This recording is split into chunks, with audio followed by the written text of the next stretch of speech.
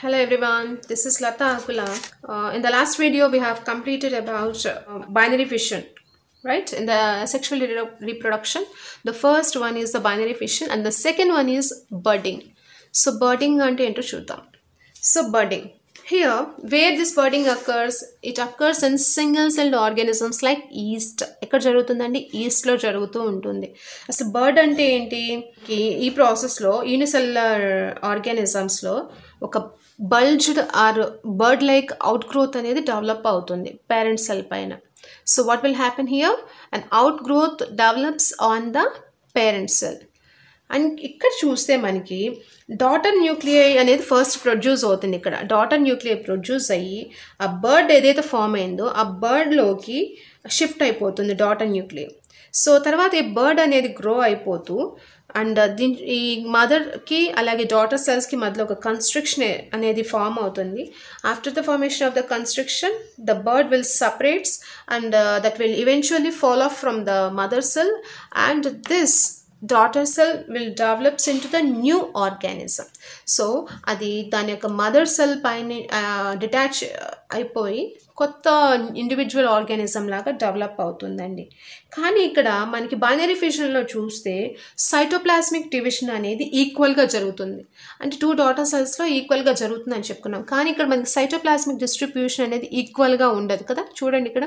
Cytoplasmic distribution అనేది తక్కువ ఉంది. ఇక్కడేమో డిస్ట్రిబ్యూషన్ అనేది ఎక్కువ ఉంటుంది. This is the main difference next one is the sporulation sporulation అంటే ఏంటి? Formation of spores is called as sporulation So, the sporulation is also one of the asexual reproduction. It can occur through the formation of specialized reproductive structures called as spores.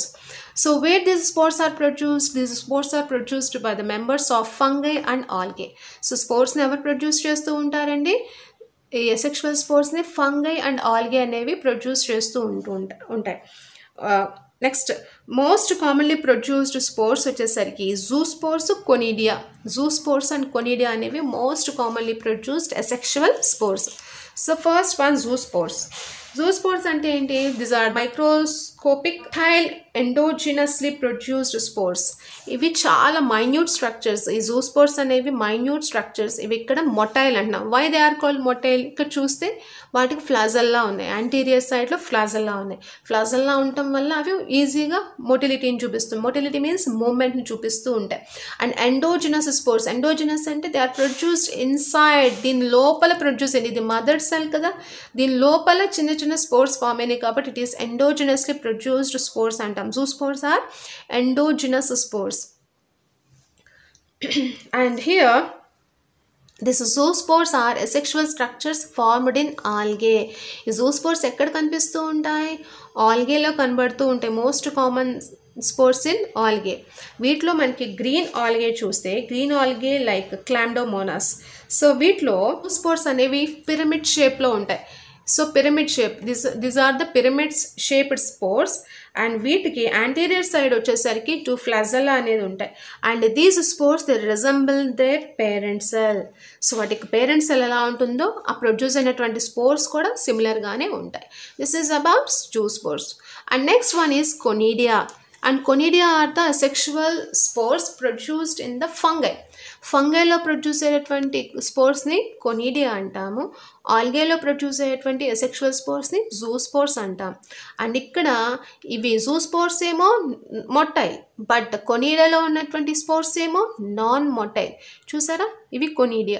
ఈ conidia అనేవి దేని మీద form అవుతూ ఉంటాయి? They are formed on conidiophore this is this are called conidiophores so this conidiophores they bear the conidia and this conidia are the non motile spores they were non motile and here where they are found they are found on the fungi and next concept వచ్చేసరికి encystation అండి. Just encystation అనేది మనకి ఎక్కడ కనపడుతూ ఉంటుందంటే అమీబాలో కనపడుతూ ఉంటుంది.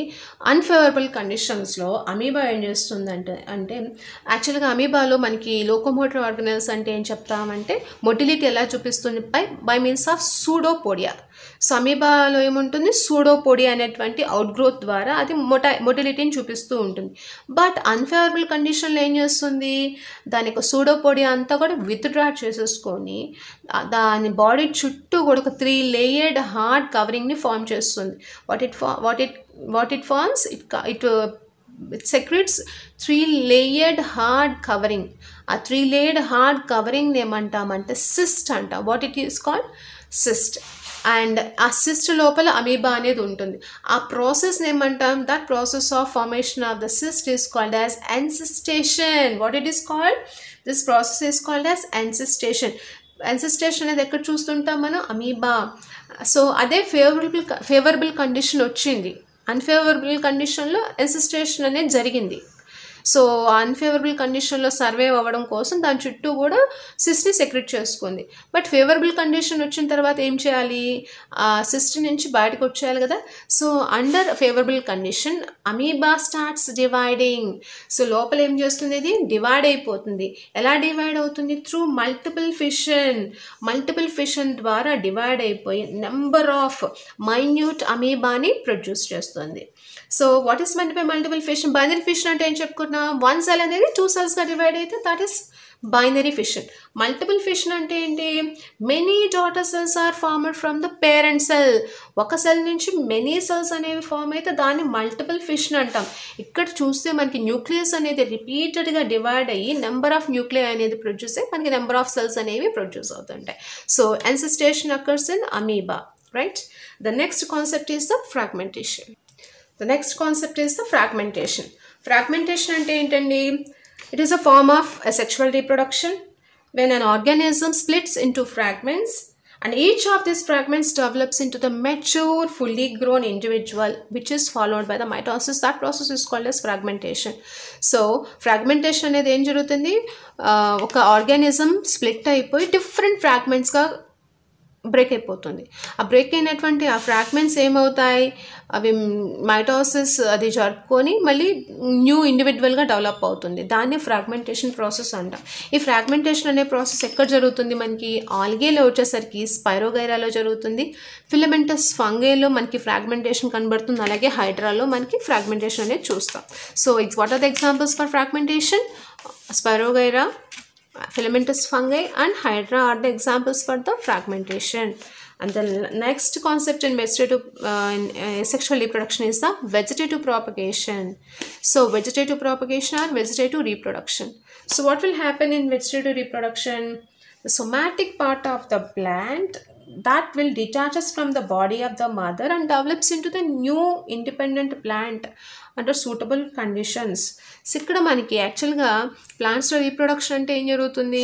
ఫ్లవర్లో మనకి ఆండ్రిషియం గైనిషియం అవన్నీ ఇన్వాల్వ్ అవుతాయి కదా? కానీ వెజిటేటివ్ ప్రాపికేషన్లో ఏముంటుంది? సొమాటిక్ పార్ట్స్ సొమాటిక్ పార్ట్స్ అంటే ఏం చెప్తాం? రూట్ స్టెమ్ లీఫ్ ఇవి ఇన్వాల్వ్ అయిపోయి ఆ పార్ట్స్ ప్లా పేరెంట్ ప్లాంట్ నుంచి డిటాచ్ అయిపోయి అవి ఒక సూటబుల్ కండిషన్స్లో ఒక కొత్త ఇండిపెండెంట్ ప్లాంట్గా డెవలప్ అయితే దాన్నే vegetative reproduction or vegetative propagation అని చెప్పేసి అనుకుంటా.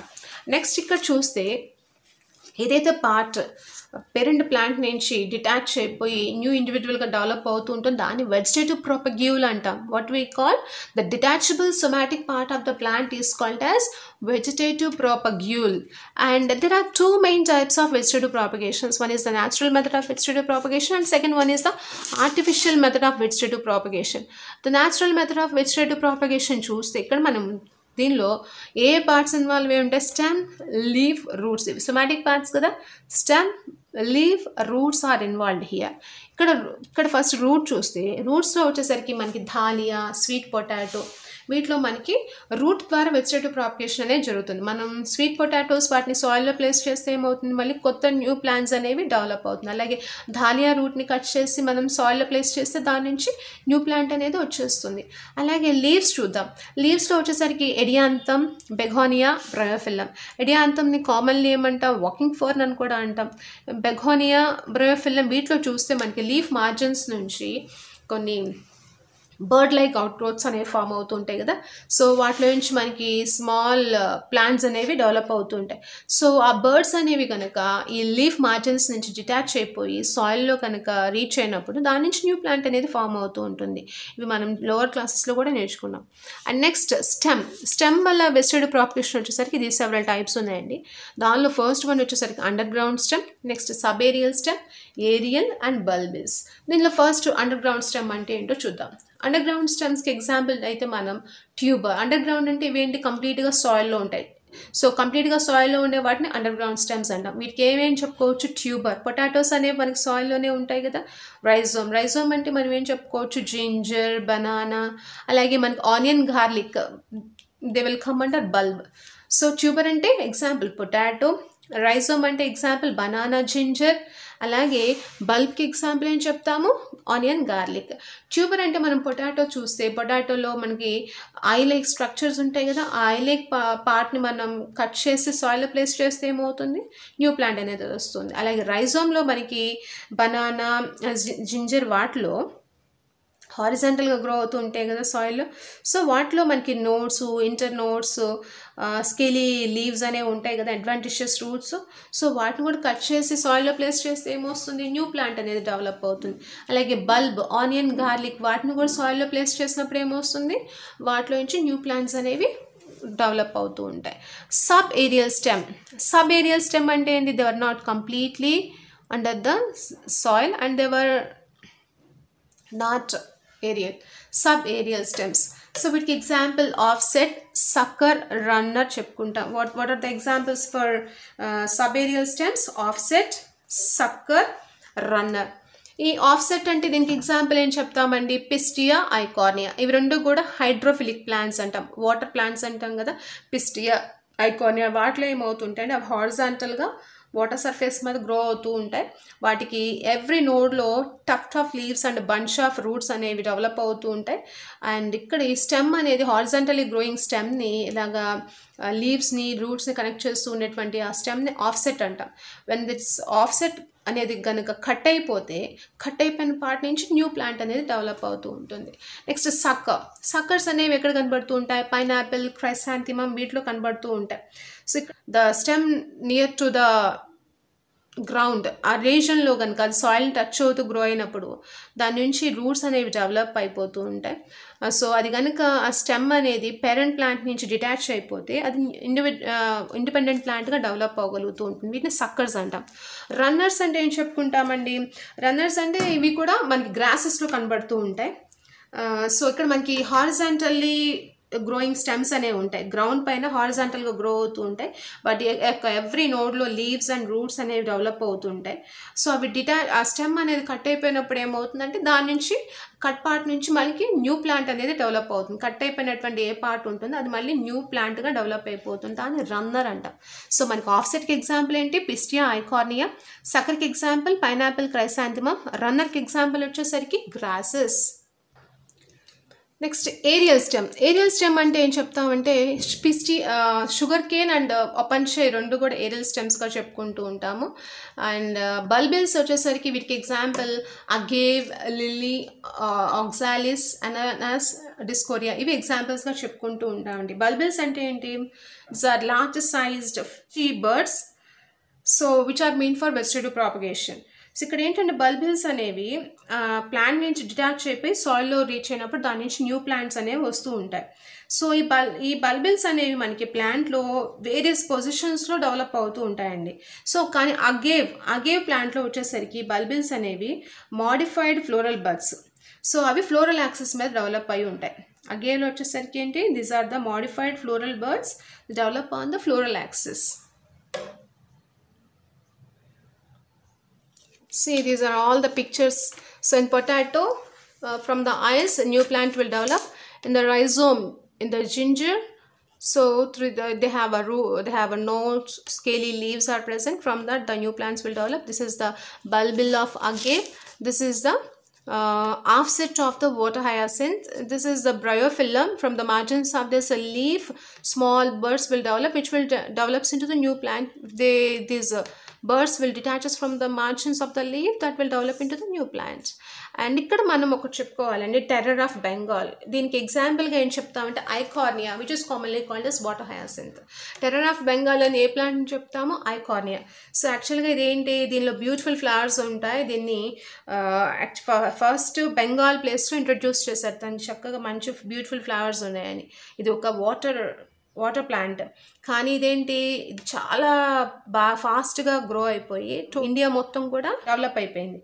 ఇది యాక్చువల్గా ఏం చేస్తుంది? ఒక అక్వాటిక్ వీడ్ లాగా డెవలప్ అయ్యి వాటర్లో ఉన్నటువంటి ఆక్సిజన్ మొత్తాన్ని కూడా ఇది ఏం చేస్తుంది? డ్రైన్ అవుట్ చేస్తుంది. సో ఎప్పుడైతే వాటర్లో ఉన్న ఆక్సిజన్ లెవెల్స్ అన్నీ పడిపోయినాయో మనకి లోపల ఉన్నటువంటి అక్వాటిక్ లివింగ్ ఆర్గానిజమ్స్ అన్నీ సఫకేట్ అయిపోయి సో అవన్నీ కూడా చనిపోతాయి.